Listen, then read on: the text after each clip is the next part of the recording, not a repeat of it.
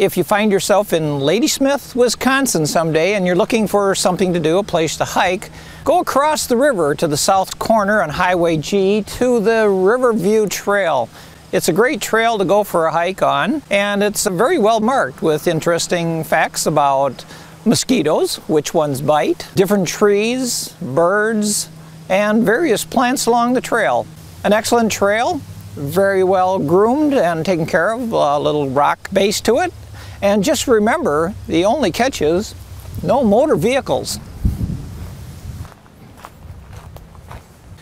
Plaques along the way provide interesting facts like this one on the American basswood.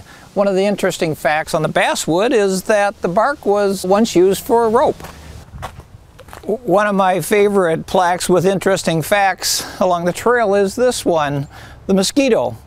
Did you know that it's the female mosquito that's known for landing on animals and drawing blood, including humans? And being from Wisconsin, of course, we have to have the robin. Jug of rum. That's the sound that the bullfrog makes. Jug of rum, jug of rum, jug of rum.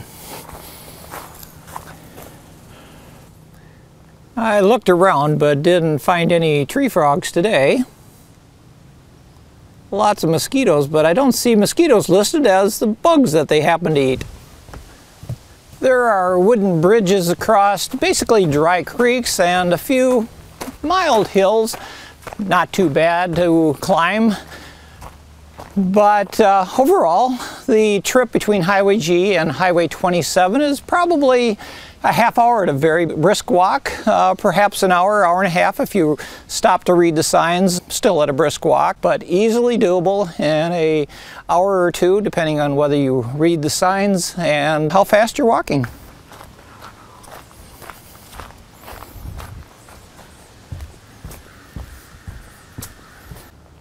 The trail runs along the south side of the river, just south of downtown Ladysmith, and I'm told uh, occasionally you'll see some wild animals out there. Today, the only thing I saw was a sign with the red fox. Oh, and a chipmunk and a couple birds.